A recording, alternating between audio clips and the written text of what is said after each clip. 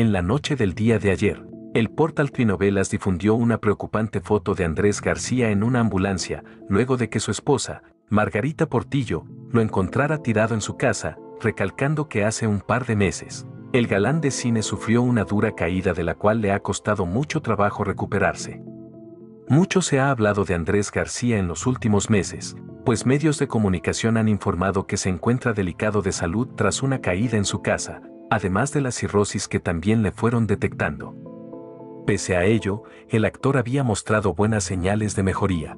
Fue la revista Trinovelas quien difundió la preocupante foto de Andrés García a bordo de una ambulancia, el cual traía conectado un oxígeno, señalando que fue su esposa Margarita Portillo quien lo encontró tirado en su casa y que además fue quien llamó a los primeros auxilios para que la ayudaran.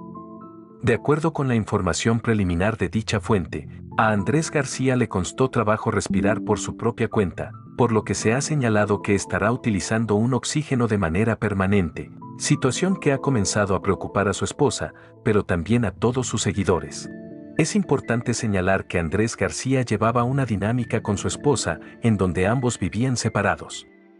Sin embargo, y luego de este incidente donde Margarita Portillo lo encontró tirado en la casa, para luego trasladarlo en una ambulancia, ha decidido que el actor permanezca en su casa para estarlo monitoreando constantemente. Dicha preocupante foto difundida por Twinovelas causó el asombro de muchos de los seguidores de Andrés García, pues muchos señalaron que les hizo una falta de respeto que publicaran dicha imagen, pues era un momento de crisis y de salud.